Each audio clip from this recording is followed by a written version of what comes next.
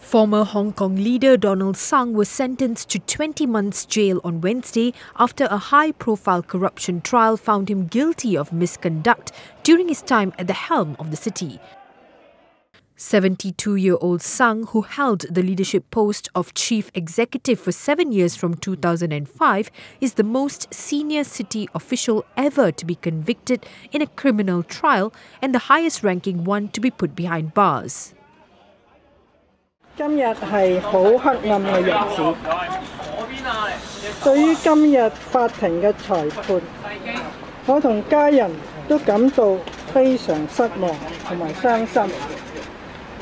我同陰權喺過去五年嚟受到極大嘅困擾同埋壓力，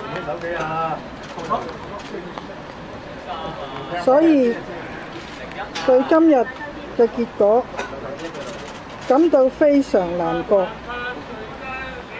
但係我哋都會堅強同埋勇敢面對。Selina said the family would appeal against the decision. On Friday, Tsang was convicted for failing to disclose a conflict of interest when making a private negotiation for the rental of a private luxury apartment with property tycoon Bill Wong Cho-bau. The negotiations took place when his cabinet discussed and approved a digital broadcasting license for a now defunct radio company, Wave Media, in which Wong was a major shareholder.